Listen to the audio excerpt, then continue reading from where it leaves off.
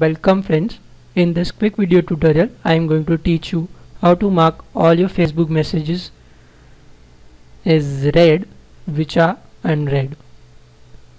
Sometimes either we don't have time to check them out or some people are continuously spamming.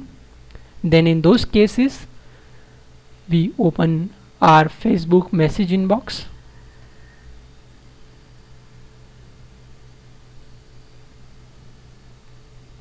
once you are in your inbox you will see all unread messages. Now just select this more option and from this drop down menu select unread. On selecting unread you will see all your unread messages. Now to mark all the, all of them as read just select this option mark all as read and then you're done.